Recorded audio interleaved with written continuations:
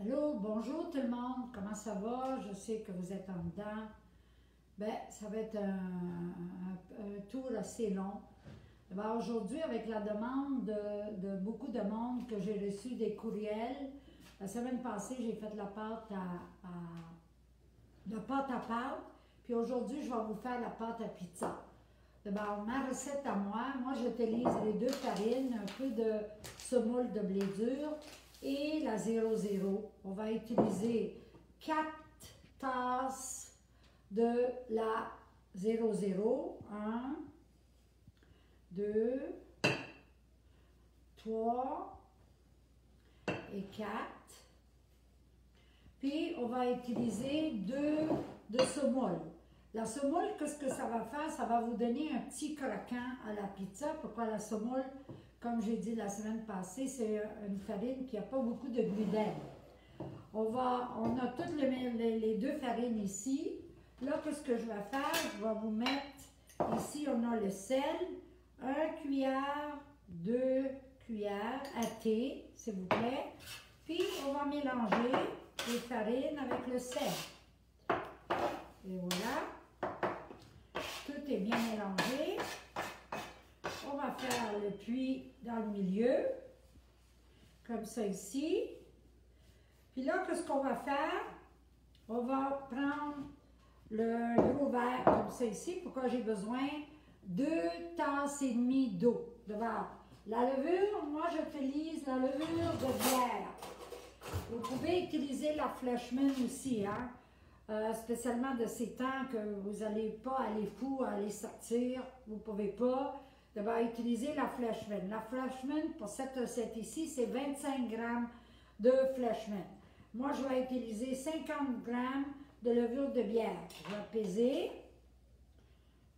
On a besoin toujours d'une une petite balance à la maison, c'est toujours euh, commode. Hein? Un instant. Et voilà, là j'en ai trop. Puis là j'ai 50 grammes de levure. Je le mets dans le verre. Et on va mettre un cuillère à table de euh, miel.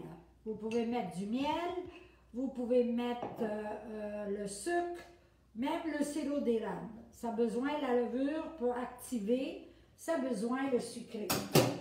On va laver nos mains, puis on va aller au lavabo pour prendre de l'eau chaude. Chaude, euh, confortable. Quand vous faites votre douche, pas chaude, chaude, chaude. On va assez, vous allez voir, à température de pièce, mais un peu plus chaud que température de pièce. Deux tasses et demie.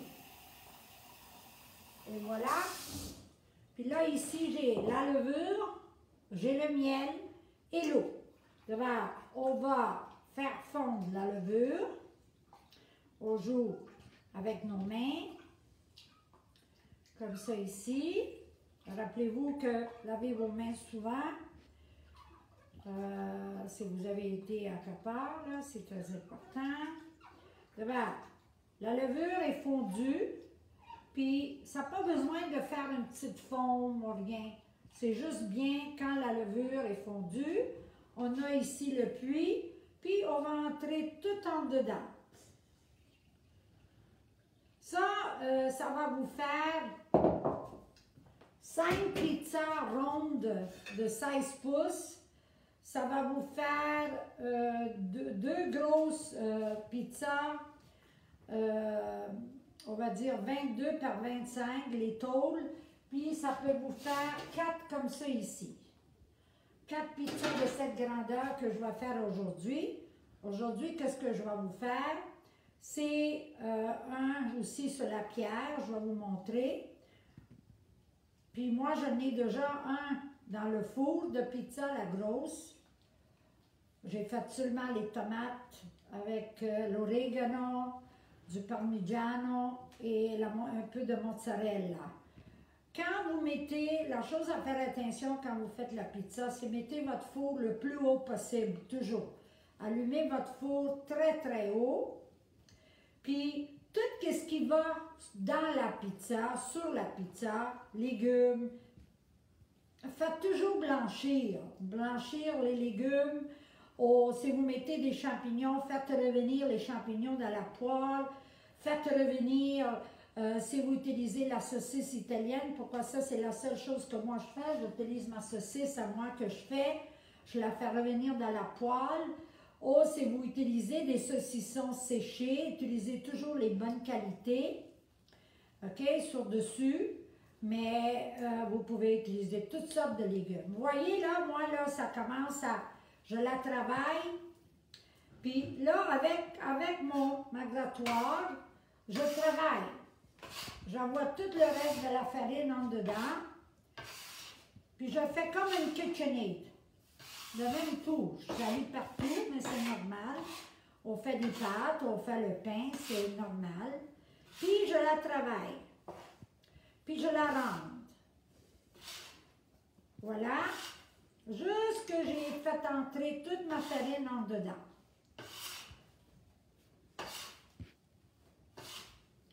Et voilà.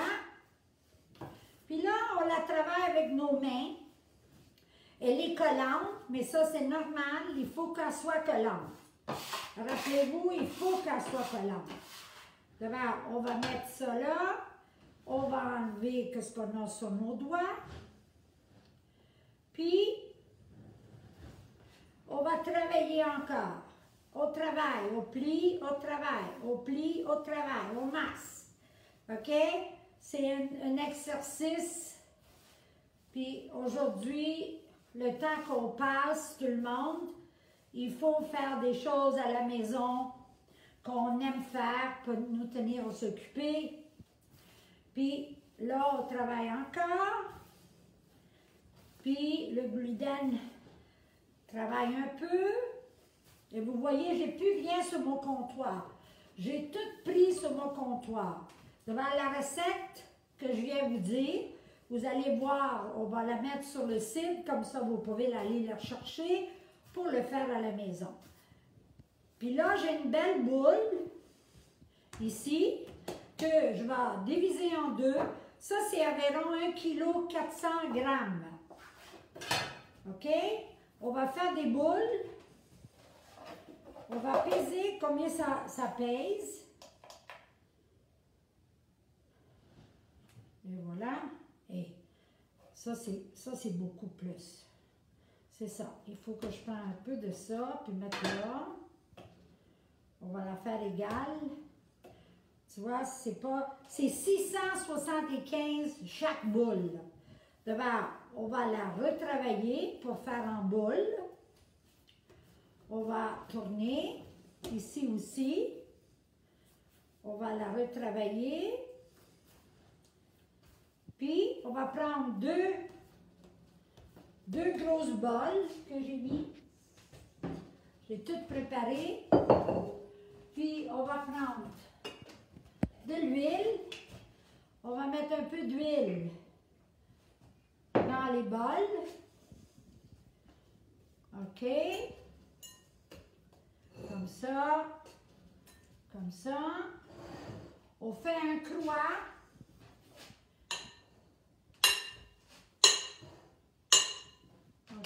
On met le petit chapeau. Oh, du saran wrap si vous voulez. Moi, je trouve ces petits chapeaux commodes. Comme ça, on utilise moins de plastique. Et voilà. Puis, on le met sur le frigo. Le frigo, ou à côté de votre poêle, c'est la meilleure place pour qu'elle va élever. Ça va prendre la pâte à élever 25 minutes, 20 à 25.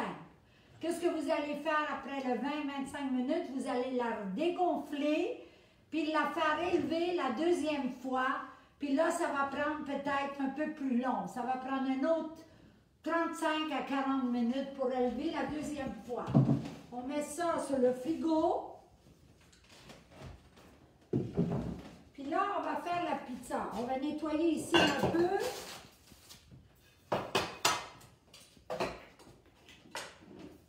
plus besoin de ça ici. On va laver nos mains encore. Savon. Scrubby. Ça lave très bien les mains. Ça les frotte. L'eau est chaude.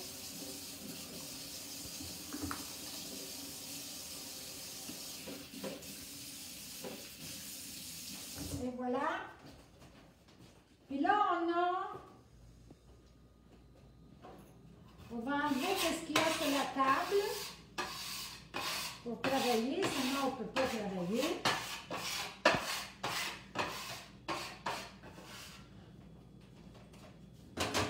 Et voilà. Voilà. La première pizza, moi, vous voyez, j'ai fait revenir les champignons. OK? Puis, j'ai fait revenir les saucissons maison, comme ici, les saucisses maison italienne au fenouil. Puis, on va prendre ici la mozzarella, alors la mozzarella et le parmigiano râpé. On a un peu d'huile piquante. OK? Puis la tomate, on va utiliser la tomate de Euh, sa, sa, tomate à pizza. Si vous avez fait vos propres tomates, vous pouvez utiliser ça, mais rappelez-vous qu'il faut la faire cuire. Si c'est un litre, il faut la descendre quasiment un demi-litre. Comme ça, elle va, être moins liquide. On fait un petit trou pour ouvrir. Et voilà. Puis aujourd'hui, je vais mettre aussi un peu d'ail. Moi, j'aime juste un, peu d'ail sur ma pizza. Vous allez voir, ça va être facile. Puis on va râper aussi le savello. Ici, j'ai du savello sur dessus. On va prendre la pizza qu'elle a déjà élevée.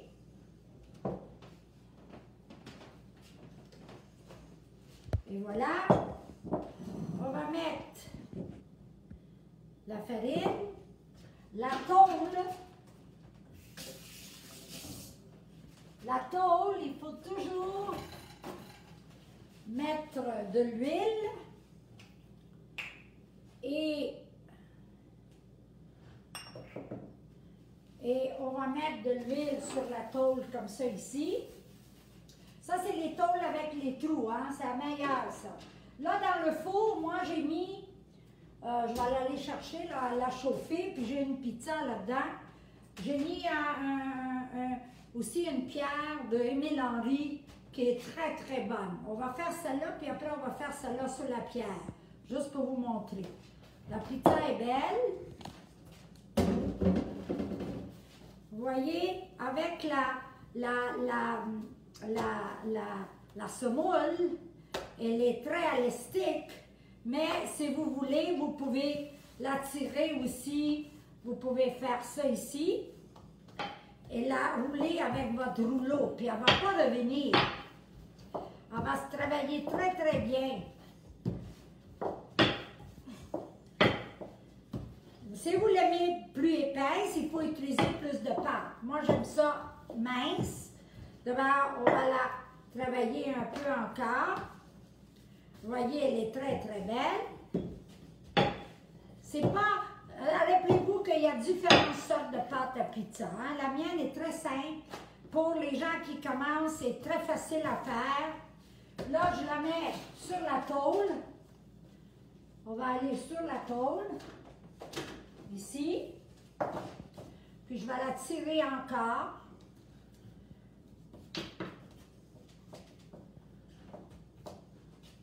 Je peux la tirer encore. Puis si vous faites des trous, c'est bien correct. C'est pas un péché. Moi, ça m'arrive souvent, souvent. OK? C'est des erreurs, c'est la pratique. Même à la pratique, on fait des erreurs. Puis c'est bien correct. Vous voyez, la, même, la, la mienne est assez pour cette grandeur de tôle. Là, ici, au fond, on met un peu d'huile piquante, juste un peu, pas beaucoup. Pourquoi? Si vous avez des enfants qui n'aiment pas l'huile piquante, ça va être... Euh, on va utiliser un cuillère, c'est mieux d'utiliser un pinceau. mais on va utiliser un cuillère. Si vous avez un pinceau à pâtisserie, c'est bien correct. On va utiliser un demi-pot de cette sauce, pas beaucoup. Et voilà.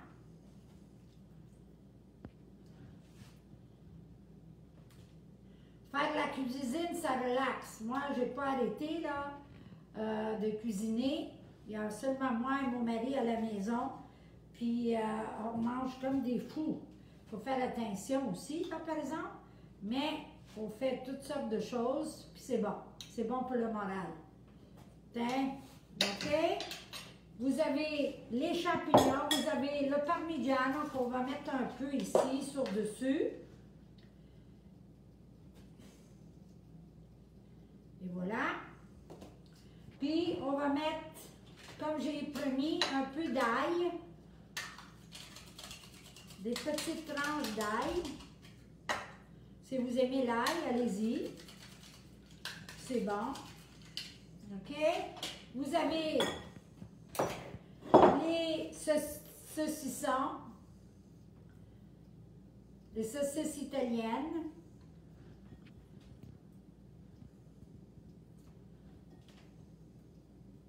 Oh, si vous avez, euh, comme j'ai dit, les saucisses sèches italiennes, c'est correct. Ou vous pouvez acheter euh, des, euh, le salami aussi, c'est bon sur la pizza comme ça.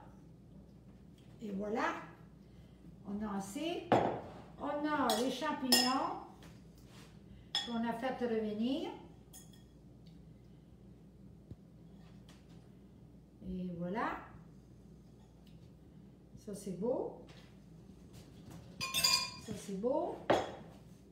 Puis là, sur dessus, ici, on a des feuilles d'un peu de basilic à mettre pour hacher un peu de basilic. On n'a jamais assez de comptoir, hein?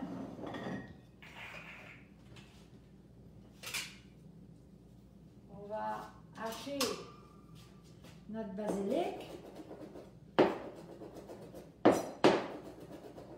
Et voilà. Ça, c'est correct. On va la mettre sur dessus. Puis qu'est-ce qu'on a mis? C'est le fromage Savello qu'on a ici, le Savello. Le Savello, c'est un fromage de brebis qui est très très bon sur la pizza. Vous le trouvez partout.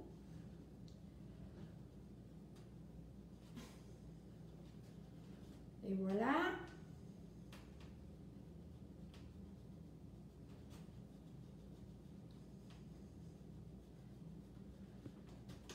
Puis, pas de mozzarella, si on a le Savello. Pourquoi vous allez cacher le, goût? Voilà, celle-là, elle est prête.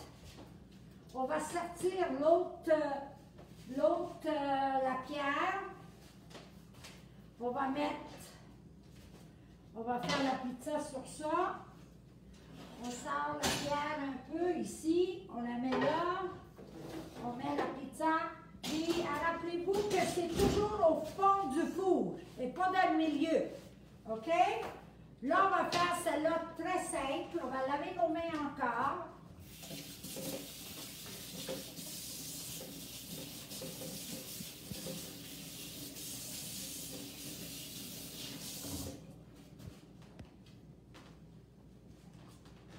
On a une autre boule de pâte ici.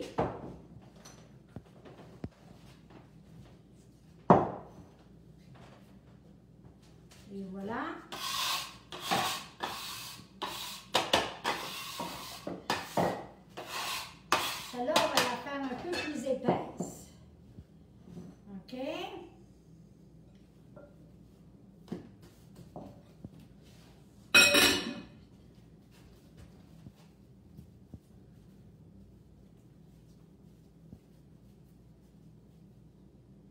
Sur la, la, pile ici, pour faire glisser, bien la pizza, OK?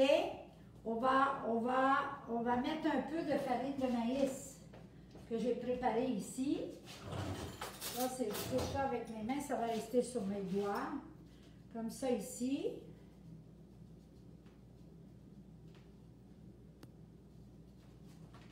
OK? Puis, on va mettre la pizza sur dessus.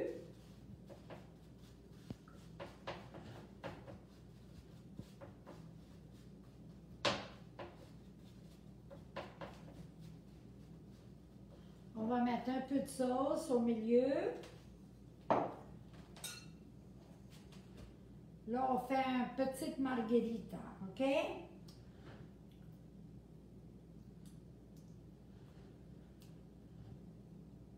Moi, c'est ma, pizza préférée, moi, la margherita. Voilà. On va laisser tout en rond libre.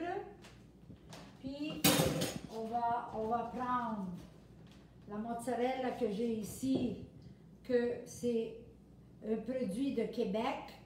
Rappelez-vous que il faut pas couper avec le couteau, il faut seulement mettre des morceaux de mozzarella. Et voilà. Et voilà. Faut pas en mettre trop. OK? Un peu de parmigiano, però, hein? Moi, le parmigiano. Puis la basilic, qu'est-ce qu'on fait quand on va la sortir? On va mettre des feuilles de basilic sur dessus fraîches. Ça aussi, on va la glisser sur notre pierre que est chaude. Et voilà. Puis mes gants.